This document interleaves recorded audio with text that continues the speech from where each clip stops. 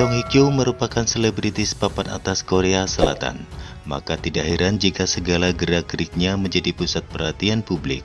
Baru-baru ini publik ramai membahas postingan terbaru Song Hye Kyo di Instagram pribadinya.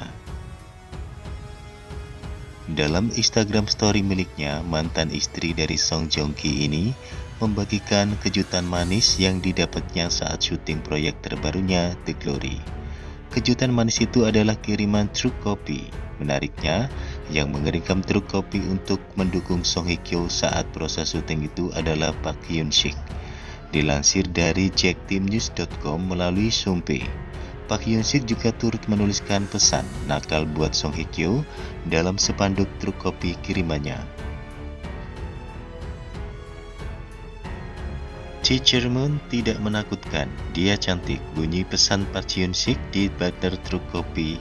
Momen kedekatan Park Hyun Sik dan Song Hye Kyo ini bukan pertama kalinya.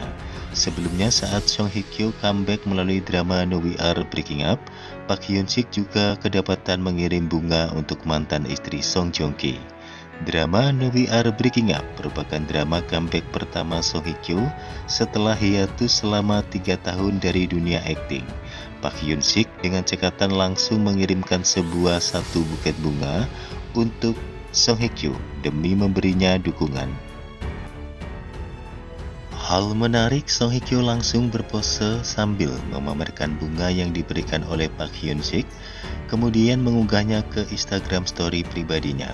Para netizen sempat berspekulasi bahwa antara Song Hye Kyo dan Pak Hyun Sik memiliki hubungan spesial.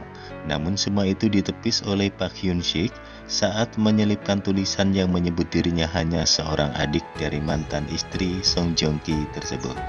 Dalam drama No We Are Breaking Up, Song Hye Kyo dipasangkan dengan aktor muda Jan Kyung. Seakan ketagihan, ia kembali dipasangkan dengan aktor berondong yakni Lee Do Yoon dalam drama The Glory. Dalam drama The Glory, Song Hye Kyo akan memainkan peran sebagai mantan korban kekerasan brutal di sekolahnya dahulu. Ia akan melakukan balas dendam pada para pelaku setelah menjadi wali kelas sekolah dari anak penindasnya. Jika tidak ada perubahan jadwal, drama The Glory akan ditayangkan pada tahun 2023 atau bisa lebih cepat dari perkiraan.